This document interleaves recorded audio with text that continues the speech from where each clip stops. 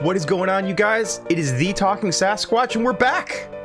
Check it out. We got a uh, new mic, we got a new camera. If you haven't seen my update video, but it's been crazy. This past week, we've gotten 700 subs alone. Yesterday, TikTok, one of my videos got over 10,000 views.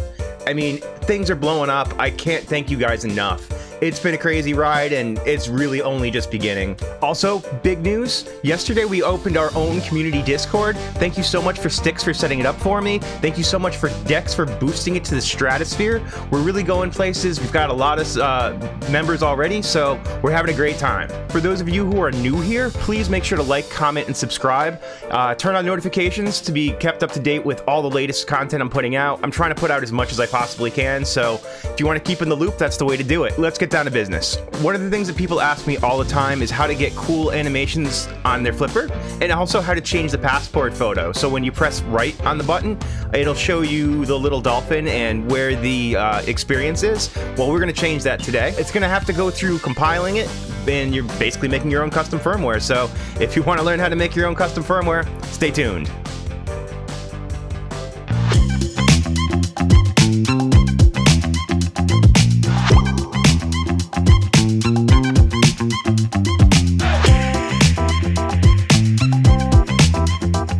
So let's get going. First things first, we need to figure out what uh, animations we want to add. The best way to do that, at least in my recommendation, is to check out my repo because not only do I have my animations, but I also do have links to other creators and I'm adding to the list as, you know, as we go, as more people are making content. Also, I do have a link to my animation making tutorial. It's pretty in depth and it's, if you want to figure out how to make your own animations, it's a great start. I also do have a video with Lab 401 that I will link below for a quick tutorial of how to make animations. So between those two resources, it should be pretty easy to figure out how to make your own stuff. From here, what I've done is I've actually created in all of the different folders a zip file so you can actually download my animations individually that way. It's a really good way to, to download animations. It's really easy. I tried to make it as easy as possible. So there are other creators that have repositories that don't have zipped files in it. If that's the case, you can always just copy the URL and use Uber's downgit to download the files that way. It's a great way to download anything off of GitHub. Highly recommend checking that out. So now that we have our files, we're to go ahead and decompress those, extract there we go. And we're gonna bring them over into the Flipper Zero. Let's just go ahead and open up QFlipper and we're gonna go to the SD card. We're gonna pop into the Dolphin folder and you're gonna see all of the animations that are already in there. I do have kind of a lot of animations in there already. Whenever you update the firmware, it doesn't actually delete anything from this folder. So keep that in mind if you are updating and you wanna keep your animations. All you're gonna have to do at the end of it is upload your existing manifest.txt file. That's all you really have to do to, to revert to your old playlist. So what we're gonna do, we're gonna drag and drop this here, bam.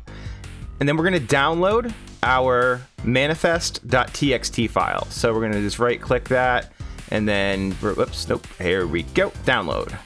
So we're to download this and we're to save it right here. This is our manifest.txt. The manifest.txt is effectively a playlist for Flipper animations. There are a number of parameters that it checks to see which one are to play under which circumstances. You'll notice minimum and maximum butt hurt.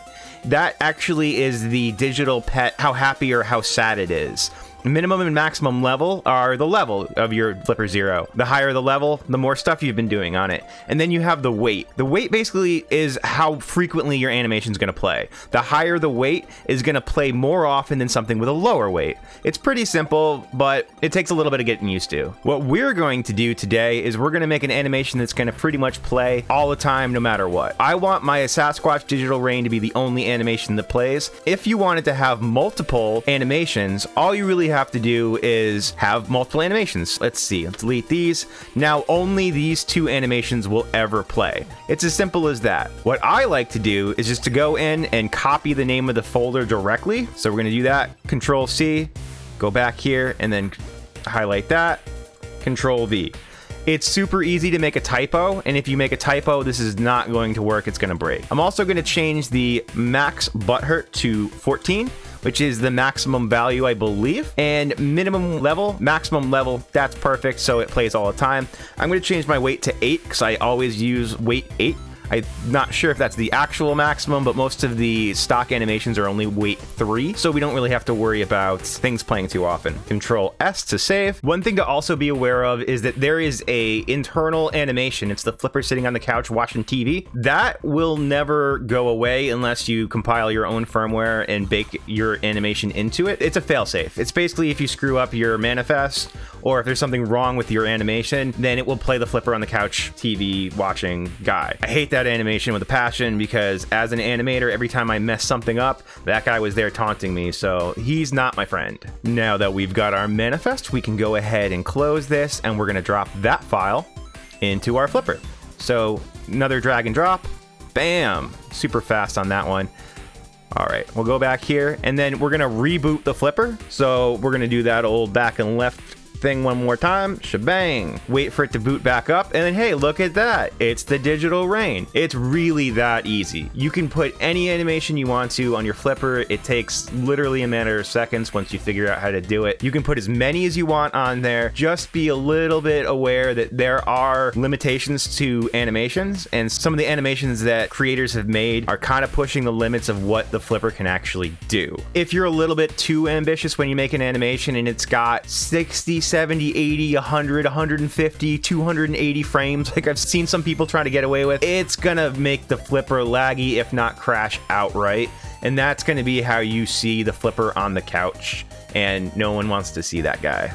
Now that you're a black belt at installing animations, we're gonna go and move on to playing around with the passport photos. First thing we're gonna do is we're gonna hop back over to my GitHub and then check out Kuronon's repo. They've got passport backgrounds and profile pictures. The backgrounds are just basically the background, so you can actually change the top and sidebars, super cool. You can also change the pictures. For now, we're just gonna focus on doing the passport photos themselves. It's a little bit easier to demonstrate here. You can see all the thumbnails. I'm gonna go ahead and grab Neuromancer because Neuromancer looks pretty cool. I'm just gonna go ahead and download this, save as, drop it into the same folder, neuromancer.png. Now that we have that, we need to clone the GitHub firmware repository for the official firmware. So let's show you how to do that. I'll go ahead and search for uh, the official firmware for Flipper Zero. Bam, bam, bam. Download source code. Shebang. So we're to need to actually clone this. So what we're to do is we're to copy this. We're to open GitHub. Going to go File, Clone Repository. Paste that here. And go. A few moments later. We are done now.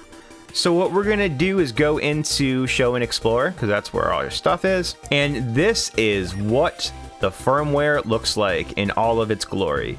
So this is literally all of the firmware. You can change any file and then recompile it, install it, and then it's custom firmware. Where we wanna go today is gonna be Assets, icons and then go down to passports. There's all our passport photos. You can see there's different photos depending upon the different happiness levels and the different levels you are. So, level one, level two, level three, if they're all in, in, the higher levels of happiness, that's what that looks like. So, what we'll do is actually we'll take this and we'll look at what we're at right now. So, this is mine. I'm happy number three right now. What we'll do is we'll actually just copy the name of this and we're going to go and rename our other icon that name. Here's our Neuromancer icon. We're gonna paste the name of that one, move this out of the way, and then drop that back in here. We're gonna replace this file, and perfect. Now, instead of the passport photo that I had before, it's gonna be this one. Now all we're left to do is to compile the firmware. I am a Windows user, so I'm actually gonna use PowerShell. You are going to want to install Git and Python. It's super easy to do, just Google it. So that's not going to be a hard thing for you to do. We're going to go to the root folder here. We're to copy this directly and then set location, set dash location, quotes, paste, boom. That's to put us into the root folder for our firmware. Then we're simply to run the command to create an updater package. It's dot slash, remember the period before it, dot slash fbt updater underscore package and let her rip.